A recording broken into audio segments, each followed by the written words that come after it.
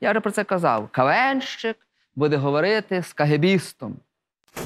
І от мене таке враження, що вони зараз будуть все мовчати. Вони будуть зараз в тряпочку мовчати, тому що так їм страшно розізлити дядечка Пу, так їм страшно розізлити оцього людожера, тому що вони до людожера 9 грудня прийдуть і попросять його перейти на рослинну їжу, тому що вона, бачите, корисніша для здоров'я.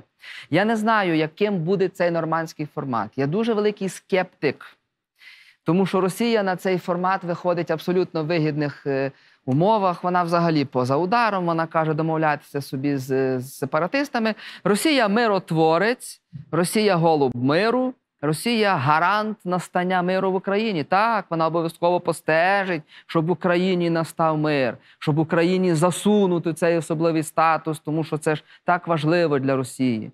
Мені в мене абсолютно просте питання. А хтось з вас знає, що готовий підписати Зеленський у Парижі 9 грудня? Підніміть, будь ласка, руку ті, хто впевнений в тому, що він не підпише там фіксацію нашої поразки.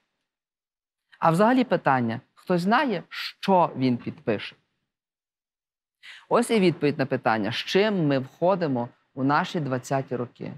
Я боюся, що за ті 40 днів, які нас відділяють від 20-х років 21-го сторіччя, може в Парижі статися якась певна крапка, яка собою забарвить всі наступні 10 років. Я би дуже хотів помилятися, але людина, у мозгах якої є візія успішної, заквітченої, мальовничої, проросійської України, не зафіксувала це там. Що ж, подивимось.